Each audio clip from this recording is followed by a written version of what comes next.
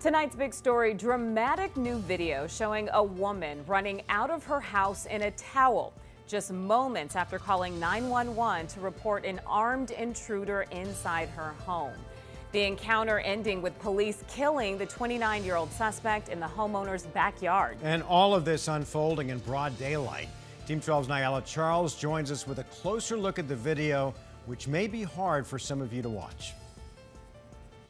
Somebody's in my backyard with a gun. What's the Sorry, address there? somebody. The petrifying moments unfolding near 43rd Avenue and Cactus in early February. Get out of my What is your address there? A 29 year old woman in her home when an armed stranger enters through an unlocked door. She runs to her bedroom for safety.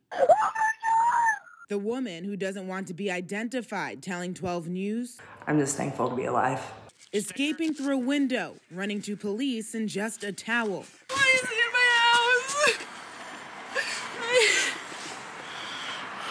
I saw him looking in and he opened the door and I yelled at him to get the out of my house. and he came in and he had a gun in his hand. Phoenix police say their body cameras did not catch a clear view of the moment an officer shot suspect Anthony Greco.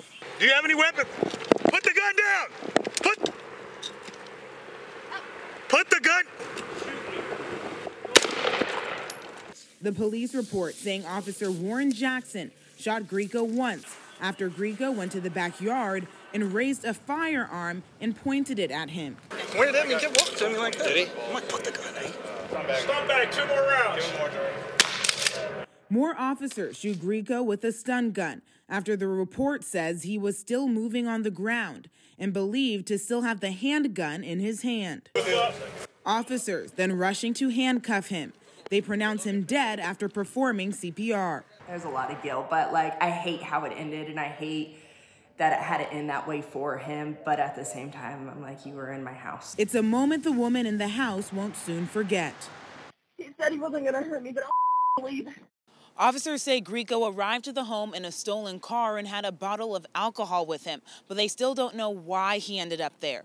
Meanwhile, the officer that shot him has been on the job for three years, and there's a criminal and internal investigation underway for the incident. In Phoenix, Nyla Charles, 12 News.